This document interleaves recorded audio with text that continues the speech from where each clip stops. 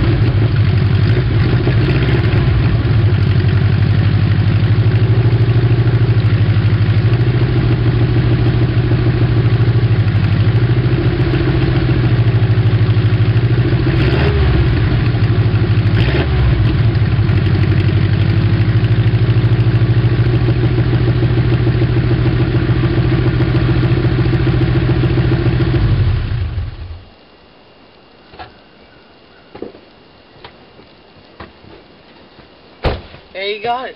Been sitting there for a pretty good while, and you got your cold start. All I do was charge the battery.